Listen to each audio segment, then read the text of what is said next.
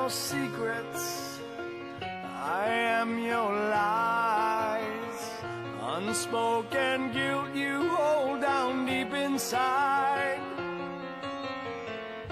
A grain of pleasure for an endless mile of